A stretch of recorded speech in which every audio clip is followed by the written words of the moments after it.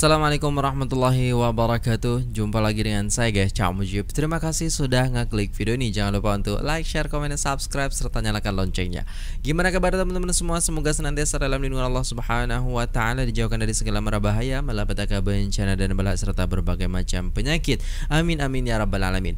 Oh ini pasal uh, daripada gurunya. Oke coba kita tengok guys. Oh, saya kurang paham juga ini. Uh, mungkin dikatakan uh, dikatakan tadi itu ada yang mengatakan nah ini dari Anissa Ivana Ahmad Ahmad pemuda teladan Malaysia insyaallah oh syahid di Turki oke okay.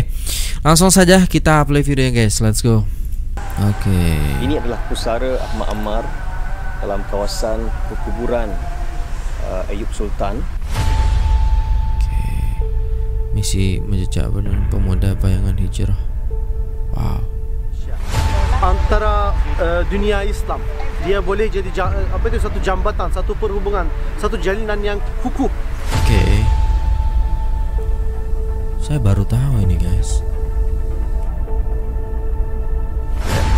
Jadi hari ini kita bertemu dengan uh, guru Amar yang yang yang awal di di Turki di di Malaysia waktu itu iaitu Abdullah Dewan.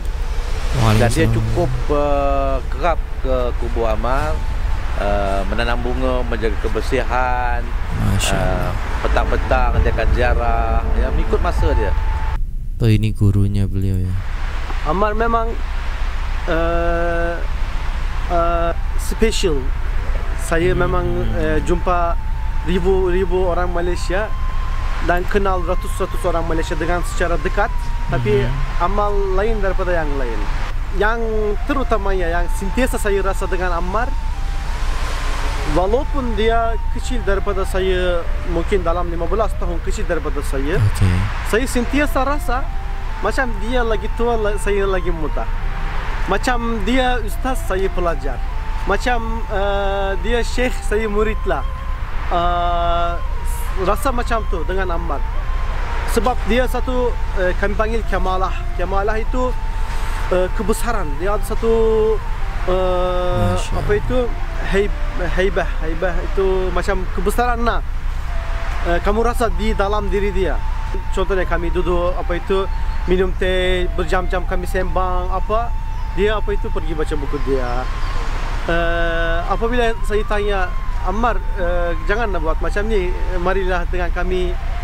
Uh, dia secara halus secara halus tanpa sakiti hati kami uh, dia kata reda Allah di mana saya di sana.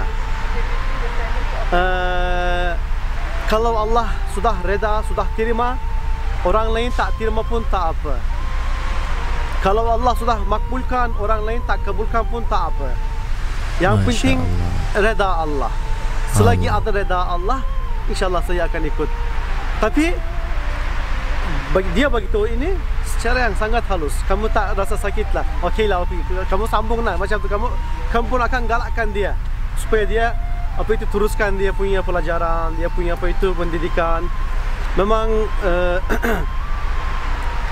uh, ini satu uh, dia punya special lah, dia punya special. Jadi itu pasal ha, semasa uh, bukan dengan saya saja, saya bersama kawan-kawan uh, lain pun saya tak pernah nampak dia uh, ketawa sampai apa itu macam uh, hilang diri tak ada. Dia kawal diri sentiasa kawal diri. Tak pernah apa itu dia macam uh, apa itu nafsani lah. Sudah tak pernah nafsani. Sentiasa rahmani sentiasa rahmani. Uh, dan selain daripada itu uh, apa yang contohnya uh, kami sudah tetapkan uh, pelajaran ataupun benda-benda uh, yang kena dibuat tak pernah dia apa itu kurang tak pernah kurang. Ada lebih tak pernah kurang. Contohnya kami kata, okey 10 uh, muka surat kena baca, dia baca 15 muka surat. Kalau kami kata ini hafal, dia hafal lebih contohnya. Eh, tak pernah dia apa itu uh, kurang daripada apa yang kami apa itu bagi dia. Sentiasa apabila kami berceramah pun kami tanya apa itu dia punya pandangan apa kamu fikir. Walaupun kamu belum cerita habis, dia boleh jelaskan kami eh, apa yang kami cerita belum cerita pun dia boleh cerita balik kepada kami. Masya Allah. Belum cerita. Jadi memang apa itu ada suatu firasah pada dia ada satu firasah. Alhamdulillah. Masya Allah. Uh, kalau dari segi peribadi dia apa itu kebersihan uh, baju dia kemas uh, katil dia tilam dia semua memang semua kemas sebab dulu kan askar dia apa itu pergi sekolah askar juga. Aha. Jadi memang dia orang yang rapi lah. Tak pernah saya nampak apa itu dia Allah. Ada yang kemas. Memang sentiasa kemas dia. Sentiasa kemas. Uh, sentiasa bersih, sentiasa kemas uh, dan uh, cepat. Bukan orang yang gopoh.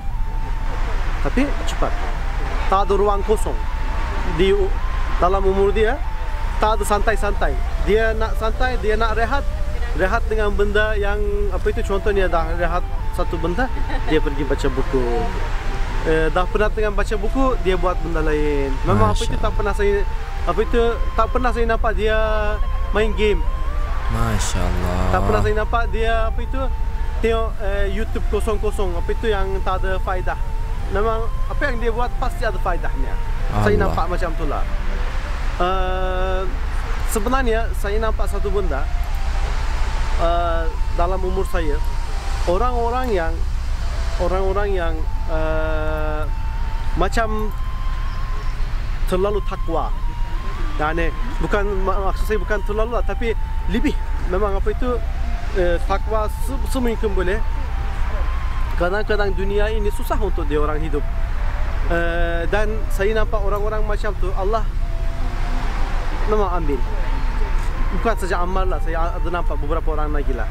Memang apa itu sudah eh, sebab dia bak apa itu? Eh, bukan saya nak melebihi apa itu apa yang saya cakap. Macam bak malaikat lah tahap malaikat dia apa itu dia punya cara lah. Begitulah. Ammar eh, Allah yarham. Masya Allah. La hawla la quwata illa billahil aliyyil azim guys. Ini Allah saya baru tahu ya. Kalau teman-teman nggak request ini nggak ngerti saya. Pasal eh, Ahmad Ammar ini daripada Allah. Daripada apa yang disampaikan oleh gurunya ini memang spesial anaknya. Jadi ketika kita eh, ngobrol gitu Ataupun menjelaskan suatu eh, ilmu Ataupun ya cerita pasal pelajaran apabila itu terputus nanti dia bisa nyambung. Allah berarti dia memang wow keren ya Allah malu saya aduh Masya Allah Mari kita kirimkan Fatihah kepada beliau ya Ala hadhini wa bikulunitin salihah Ila hadratin Nabi Mustafa Sayyidina Muhammad wa ala alihi wa sahbihi